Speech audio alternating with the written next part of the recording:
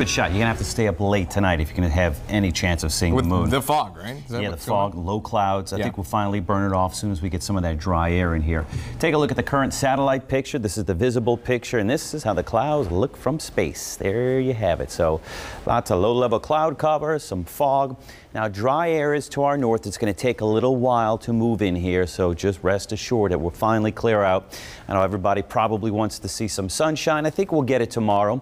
And temperatures are going to be cooling off. Our front now in the Gulf of Mexico, just kind of hanging out there right now. You can see there was some rain earlier in this 12-hour loop just off the coast. All of that, all of that has moved eastward. So lows today, see these are some of the early numbers. 60 degrees in Slidell, 59 at New Orleans International, and these actually occurred in the afternoon. The high temperatures right after midnight, 67 at New Orleans International and 66 in Slidell. And the temperatures have been falling ever since.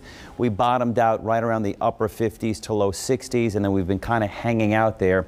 Now let's talk about what we can expect over the next seven days. I call it the roller coaster ride of high temperatures because that's what it looks like. We're going to be down in a trough here. We go up, throw your hands in the air, scream as you go down. 56 on Monday, 68 next Wednesday. But the take home message here is keep the coat handy, keep the umbrella handy, and keep the sweater handy as well because we'll go with varying degrees of cooler air. Right now, we've got 59 in Hammond, Bogalusa, 60 in Slidell, 61 in Galliano, and right along the Mississippi Gulf Coast, we're in the lower 60s and 57 at this hour in Boothville.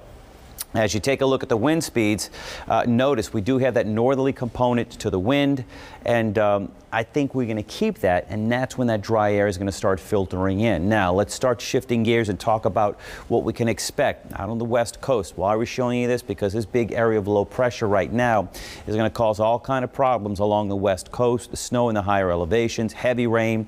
I wouldn't be surprised if uh, the west coast picked up a few mudslides here and there, but this moisture that is currently moving on shore, this area of low pressure is going to set up in the, in the desert southwest, and that's going to start tossing moisture our way and help bring our next chance of rain. So this is 1245. Take a look. You can see we still have the low clouds and fog, but by the time 7 o'clock, 7.30 rolls around here, I'm going to say sunny and cool. You can see we'll finally clear it out, and we'll stay clear for about 24 hours. Unfortunately, as we get into the overnight hours tomorrow night, heading into Friday, the clouds, which are going to be lurking offshore, the winds are going to shift. They're going to be onshore once again after being out of the north. They're going to be moving out of the south. That'll start tossing that moisture our way, and we could looking at be looking at the chance for more low clouds and fog by the time we get into Friday heading into Saturday and then eventually into Sunday, which is going to be our next significant rain chance. I'll show you that in one moment. So low clouds and fog early, clearing later on, chilly and breezy. Temperatures, I think, by tomorrow morning